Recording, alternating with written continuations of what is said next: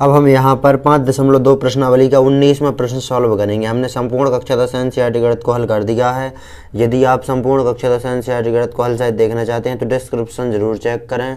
और यदि आप जोक्स चुटकुले शायरी पढ़ना चाहते हैं तो हमारी website Bundeli jokes dot com इसे भी आप चेक कर सकते हैं। तो यहाँ पर उन्नीसवा प्रश्न देखेंगे। सुब्बा राव ने उन्नीस सौ पंचानवे में पाँच हज़ार की मासिक वेतन पर कार्य आरंभ किया।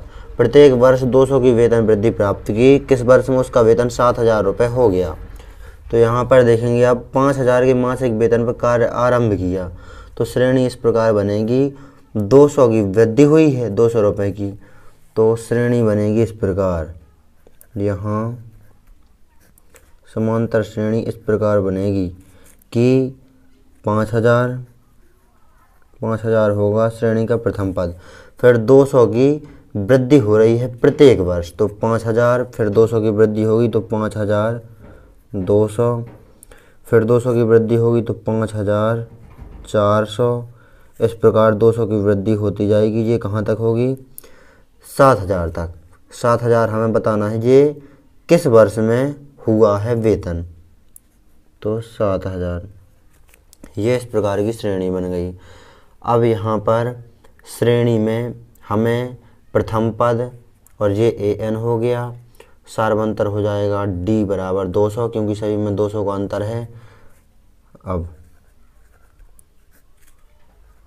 प्रथम पद देखेंगे तो श्रेणी का प्रथम पद है। प्रथम पद को ऐसे दर्शाते हैं। प्रथम पद है पाँच हज़ार। और सार्वंतर सार्वंतर को दर्शाते हैं डी से। सभी में अंतर है दो दो सौ का तो दो सौ हो जाएगा सार्वंतर और अंतिम पद अंतिम पद यानी कि एनवा पद। यहाँ पर अंतिम पद या एनवा पद, जो कि ए एन है, वो दिया गया है सात हज़ार। अब यहाँ पर सूत्र लगा देंगे हम।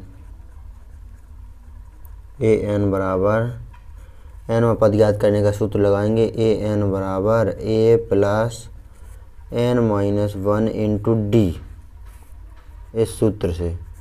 मान रखेंगे ए एन ए एन का मान है सात हज़ार, बराबर ए का मान है पाँच हज़ार,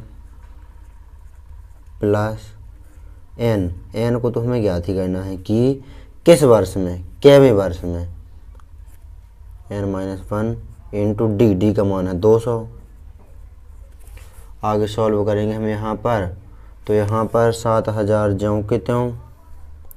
पाँच हज़ार को बराबर किस तरफ़ ले आएँगे? तो प्लस के थे, बराबर किस तरफ़ आए? माइनस के हो गए।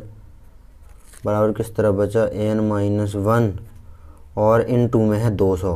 तो दो सौ गुणा में है, दो सौ को बराबर किस तरफ़ ले आएँगे? तो भाग में आ जाएँगे। अब यहाँ पर सात हज़ार में से पाँच हज़ार घटा देंगे तो बचेंगे दो हज़ार। और बटे में दो सौ ज्यों के त्यों और बराबर में एन माइनस वन ज्यों का त्यों दो सौ का भाग देंगे दो हज़ार में तो दो सौ धाम होता है दो हज़ार तो दस बार चला जाएगा भाग। माइनस के एक को बराबर किस तरह पक्षांतित कर देंगे? प्लस का एक बराबर किस तरह बचेगा? एन दस और एक ग्यारह एन बराबर ग्यारह। तो ये ग्यारहवें वर्ष में वेतन हो जाएगा सात हज़ार रुपये अतः ग्यारहवें वर्ष में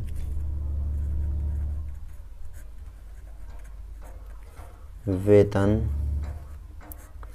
रुपये सात हज़ार हो जाएगा। ये हमारा आंसर है। इस प्रकार आपको इस प्रश्न को अच्छी तरह से सॉल्व कर लेना है। परीक्षा की दृष्टि से बहुत अधिक महत्वपूर्ण प्रश्न है। ये तो नोट कर लीजिए इस प्रश्न को अच्छी तरह से।